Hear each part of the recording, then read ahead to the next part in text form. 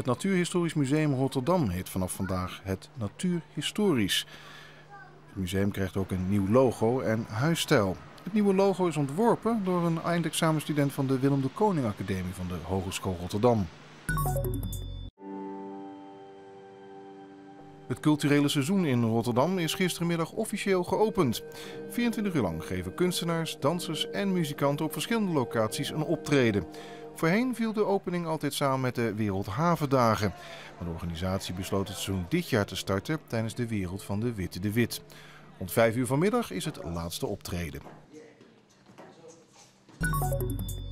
GroenLinks wil dat er op korte termijn 600 extra fietsklemmen komen bij Rotterdam Centraal. Volgens de partij is er een groot tekort aan stallingsmogelijkheden. Wethouder Baulieu constateerde eerder al dat er minstens 300 plaatsen te weinig zijn. Door de herinrichting van het Wena bestaat de kans dat meer mensen hun fiets deze maand bij het Rotterdamse station willen plaatsen. Lansingerland krijgt eind september een nieuw college. Leefbaar 3B, VVD, ChristenUnie en PvdA leveren elk één wethouder.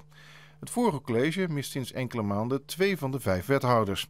Een VVD'er trad terug door gezondheidsredenen en een wethouder van Leefbaar verliet het college na oneenigheid binnen de fractie. De overige drie wethouders van het oude college blijven in functie.